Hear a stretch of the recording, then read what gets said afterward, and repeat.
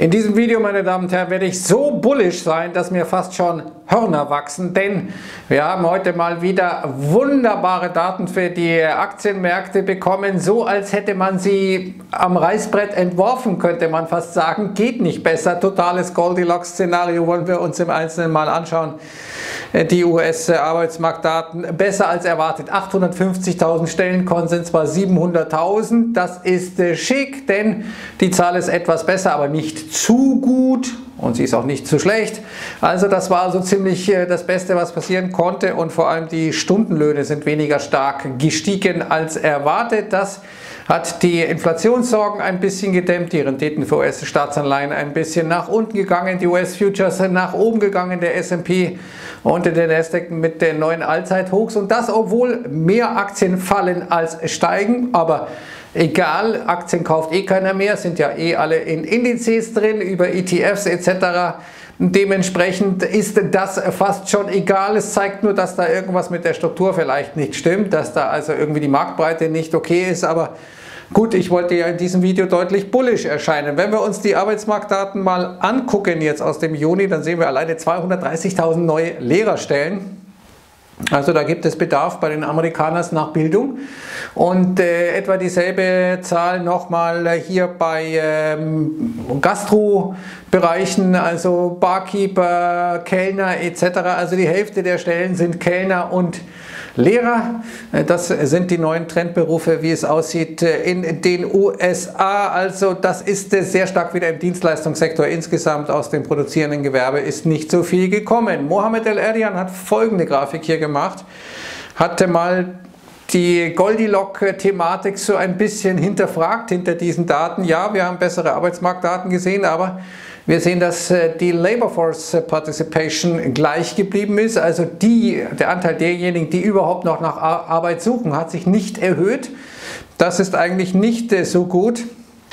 Auch Employment to Population nicht, also die Zahl ähm, der Beschäftigten in Relation zur Bevölkerungszahl, ja, wir haben höhere Stundenlöhne gesehen, wenngleich eben nicht zu hoch, Gott sei Dank, wie viele sagen. Aber wir sehen, dass eben weniger Stunden gearbeitet wurden. Das ist ein bisschen merkwürdig in einem solchen Boom. Und wir haben äh, mehr Frauen äh, hier beteiligt, aber wir haben höhere Langzeitarbeitslosigkeit jetzt gesehen, auch höhere Arbeitslosigkeit bei Minorities, also bei Minoritäten. Und wir haben eine tiefere U6-Arbeitslosigkeit, äh, aber eine höhere U2-Arbeitslosigkeit. Aber Schwamm drüber, das zu erklären, ist jetzt zu kompliziert. U6 ist wahrscheinlich die beste Kategorie für den US-Arbeitsmarkt. Die anderen Daten, diese Non-Farm Payrolls, die sind so ein bisschen, naja, wie soll man sagen, anfällig für bestimmte Eingriffe, könnte man fast sagen. Jedenfalls sehen wir, dass die ähm, offizielle Arbeitslosenzahl, die Prozentzahl, ein bisschen nach oben gegangen ist wieder. Dennoch bräuchte es jetzt äh, nochmal 6,76 Millionen Jobs, um dann auf Vor-Corona- Krisenniveau zu sein. Das wären also um und bei achtmal solche Arbeitsmarktdaten wie heute. Dann hätten wir komplett äh, die Corona-Krise zumindest am Arbeitsmarkt ausradiert. Die Wahrnehmung der Wall Street ist total bullish bei diesen Zahlen, wie hier von Kate Moore von BlackRock, äh, die gesagt hat, ja, das war natürlich eine Goldilocks-Geschichte ähm, für den äh, Aktienmarkt, aber ich glaube nicht, sagt sie, dass das etwas an der Haltung der Fed ändert und wahrscheinlich ist das auch so. Ähm, das wird jetzt sicherlich nicht der Gamechanger gewesen sein äh, für die US-Notenbank. Sven Henrik bemerkt hier, ja, wir haben äh, bessere Jobs, äh, zeigt, dass die Wirtschaft besser läuft, aber wir haben höhere Arbeitslosigkeit. Das ist dann für die Fed eine Ausrede, um dann doch vielleicht nicht die Geldpolitik strafen zu müssen. Naja, Sie werden schon etwas tun in Sachen Tapering, in Sachen Reduzierung der Anleihekäufe. Davon ist auszugehen. Nochmal zu den Arbeitsmarktdaten. Wir sehen hier die Seasonal Adjustments. Äh, alleine im letzten Monat, also die saisonalen Anpassungen, eine windelweiche Wachs. Kategorie, die bei deutschen Daten wahrscheinlich niemals angelegt werden könnte, denn da ist natürlich Tür und Tor geöffnet für ein paar Adjustierungen, sage ich so mal so, okay, äh, wie man die Daten sich schon ein bisschen hindrehen kann. Alleine zum Beispiel bei den letzten Arbeitsmarktdaten im Mai waren 414.000 Stellen mal eben abgezogen worden wegen äh, Seasonal Adjustments. Die davor waren sogar über 800.000 Stellen. Also äh, da kann man mit Nullen ja geradezu um sich schmeißen. Insgesamt, wie Sven Hendrik erneut bemerkt hier, müsste die Fed eigentlich jetzt schon längst umgesteuert haben, wenn die Fakten sich ändern. Man kann ja durchaus argumentieren, dass diese Geldpolitik richtig war, um totale Panik an den Märkten zu vermeiden, die sich dann vielleicht in die Wirtschaft durchgefressen hätte. Aber jetzt sehen wir, dass die Recovery, die Erholung stärker ist als eigentlich erwartet. Wir sehen, dass die Inflation stärker ist äh, als erwartet, aber die Fed macht eben erstmal so weiter, als wäre nichts passiert und das führt dazu, dass jetzt alle im selben Boot sitzen, dass alle total euphorisch sind. Ich natürlich auch. Äh, und äh, wir hier jetzt äh, eben dann immer wieder die Aussage auch seitens der FED haben, wie Mohamed El-Erian jetzt bemerkt. Die FED sagt uns immer, die Inflation ist transitory, transitory, also vorübergehend. Aber Mohamed El-Erian sagt, ich spreche mit vielen Firmen und da heißt es, hm, das ist wohl nicht transitory. Und wem glaubt man jetzt? Der FED oder den Unternehmen? Die Märkte jedenfalls glauben der FED und nicht den Unternehmen. Das ist ja gutes Recht, weil das Glas ist ja immer halb voll und nicht halb leer, also dementsprechend eine sehr rationale Haltung. Rabobank heute mit einer interessanten Analyse, die sagt, die Fed müsste den Merkmal des Heroin wegnehmen. Have you seen Junkies without Heroin? Haben Sie, haben Sie jemals schon mal Junkies ohne Heroin gesehen? Ähm, aber natürlich wird die Fed das erstmal nicht äh, machen, denn es geht schlichtweg äh, um zu viel. Sie hat diese Blase aufgeblasen und jetzt ist die Frage, wie gehe ich mit der um und wie stark diese Blase aufgeblasen ist. Das sehen wir mal bei den Geldzuflüssen in die Aktienmärkte. Erstes Halbjahr jetzt äh, diesen Jahres, absoluter Rekord hatten wir noch nie, auch nur ansatzweise in der Form. Das heißt, die finanzielle Repression die zwingt geradezu Investoren mangels Alternativen eben in die Aktienmärkte. Damit sitzen dann, wie gesagt, alle im selben Boot. Da darf dann äh, keine Welle kommen, äh, nichts Unvorhergesehenes kommen, sonst haben die ein Problem.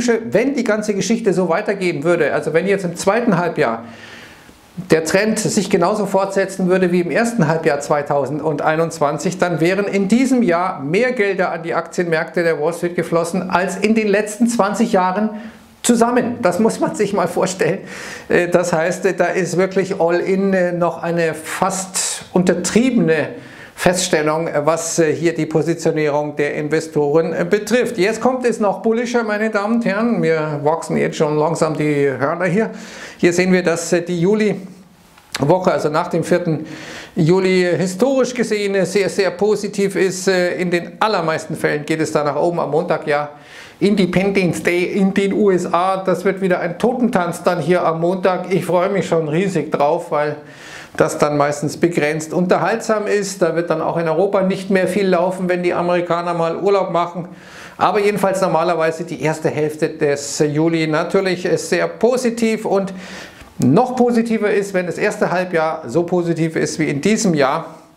Wenn also der S&P 500 mehr als 12,5% im Plus ist, und das ist er in diesem Jahr, dann sind die nächsten sechs Monate in der Regel auch positiv, weil eben das Narrativ irgendwie intakt ist. Alles gut, Goldilocks, Fett, Dovish, Wirtschaft gut, Inflation transitory. Das sind die ähm, Dreifaltigkeit gewissermaßen der Märkte. Die anderen haben dann Heiligen Geist und dann Jesus und dann Gott Vater und die anderen haben halt äh, die äh, und die Wirtschaft äh, und die Inflation. Ne? Jeden das, was er praktisch da vorzieht. Jetzt abschließend noch, Robin Hood geht an die Börse, dieser Broker kann man sagen, der vor allem mit der App äh, hier arbeitet und vor allem sehr viele Junge in den Markt gebracht hat. Hier hat mein Kollege Claudio Kummerfeld einen Artikel geschrieben, Vorsicht ist geboten, warum kann man vielleicht gleich mal zeigen. Erstens hat Robinhood, die ja eigentlich versprochen hatten, das, den Handel, die Börse zu demokratisieren, indem sie kommissionsfrei, gebührenfrei immer mehr Menschen den Zugang zu dieser Börse ermöglichen. Die mussten jetzt aber mal eben 70 Millionen äh, Dollar an Strafe zahlen, weil offenkundig sie ihre Kunden irgendwie benachteiligt haben. Ja, wie kann das denn sein? Die sind doch lupenreine Demokraten des Handels. Ja, wie ist dies möglich? Unter anderem, indem sie eben ihren Orderflow, also praktisch das, was die Leute ordern, an Hedgefonds wie Citadel weiterleiten und Citadel bezahlt dafür pro Quartal alleine 100 Millionen Dollar. Warum machen sie das? Weil sie damit einen kleinen Informationsvorsprung haben. Sie sehen also, okay, die Leute wollen Dogecoin kaufen oder AMC oder irgendwas. Und dann tun sie das einfach eine Millisekunde vorher und das ist ihnen ein paar Millionen wert. Wenn wir jetzt mal äh, die Zahlen von Robinhood angucken, die jetzt vorgelegt wurden, dann sehen wir, dass 80% der Umsatzsteigerung durch äh, erhöhte Zahlungen äh, für den Orderflow kommen. Also da werden die Leute faktisch veräppelt, kann man sagen. Es wird ihnen gesagt, du hast keine Gebühren, aber faktisch ist die Ausführung dann, wenn ich auf den Knopf drücke, schlechter, weil der Hedgefonds ja vorher schon drin ist, der sozusagen dann einfach ein Stück, eine Millisekunde eher drin ist, sodass normalerweise ich dann einen höheren Preis bezahle, vor allem aus dem Kryptobereich. Also da scheint man richtig abzusahnen, da sind die Spreads auch noch teilweise höher. Also das ist so eine Geschichte und vielleicht hier noch diesen Tweet, das wollte ich nicht zeigen, sondern diesen Tweet hier von Jared Dillian, der sagt, der Glencore IPO, also dieses Rohstoffunternehmen, das war damals das Top bei den äh, Rohstoffen, Blackstone, das IPO war damals äh, der Hochpunkt bei Private Equity, Coinbase war damals der Hochpunkt bei den Kryptowährungen, Bitcoin ja jetzt äh, nach wie vor halbiert, etwa zum Hoch aus dem April. Und Robinhood wird wahrscheinlich das Ende der Meme-Stocks sein. Da könnte was dran sein. Aber nein, meine Damen und Herren, ich habe versprochen, ich bin total bullish und deswegen ist das alles nicht wahr, sondern die Märkte werden weiter steigen, die Meme-Stocks werden weiter steigen, die Kryptowährungen werden weiter steigen, die Fed wird nie wieder etwas tun, die Aktienmärkte werden sich verzehnfachen, wir alle sind glücklich. Und dann äh, sind wir immer reicher an Erfahrung zumindest, äh, wie es ist, äh, in einer solchen Blase zu leben, die sich scheinbar unendlich weiter aufbläht. Wehe nur, wenn da mal eine kleine Nadel kommt und reinsticht in diese Blase, dann bin ich mal gespannt, was passiert, wenn alle im selben Boot sitzen. Jetzt wünsche ich ein schönes Wochenende. Bis Montag. Servus und ciao.